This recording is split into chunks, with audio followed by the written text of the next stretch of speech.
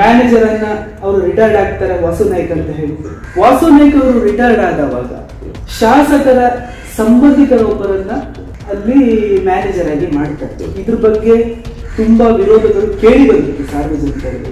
ಇದ್ರ ಬಗ್ಗೆ ತಾವೇ ಹೇಳ್ಬೋದು ಸಿಬ್ಬಂದಿಯನ್ನ ಒಬ್ಬ ಮ್ಯಾನೇಜರ್ ಮಾಡುವಾಗ ಅಲ್ಲಿ ವಿದ್ಯಾರ್ಥಿಯನ್ನ ಕಂಪೇರ್ ಮಾಡಿ ಇಪ್ಪತ್ನಾಲ್ಕು ಜನರನ್ನ ಕೆಲಸದ ಕಾನೂನು ಬಾಹಿರವಾಗಿ ನೇಮಕ ಆಗಿದ್ದೀರಾ ನೀವು ನಿರ್ಗಮಿಸಬೇಕಂತ ಹೇಳಿ ಅವರನ್ನ ಕೆಲಸದಿಂದ ತೆಗೆದು ಆ ಇಪ್ಪತ್ನಾಲ್ಕು ಜನರ ಭವಿಷ್ಯ ಏನು? ಅವರು ಒಂದು ಅರ್ಥ ಮಾಡ್ಕೊಳ್ಬೇಕು. ನಾವು ಕಾಯ್ದೆಗೆ ವಿರುದ್ಧವಾಗಿ ನಡ್ಕೊಳ್ಳುವಂತ ಸಿಬ್ಬಂದಿಗಳು. ಹಾಗಾಗಿ ನಮ್ಮ ಅವ್ರಿಗೆ ಒಂದು ಭಾವನೆ ಇರಬೇಕು. ಏನಂತಂದ್ರೆ ನಾನು ಕಾಯ್ದೆನೇ ಗೌರವಿಸಬೇಕು ಇಲ್ಲಿವರೆಗೆ ಇದ್ದದ್ದೇ ನಾನು ದೊಡ್ಡ ದುರಾದೃಷ್ಟ ಮತ್ತು ಮಹಾ ದೊಡ್ಡ ತಪ್ಪು.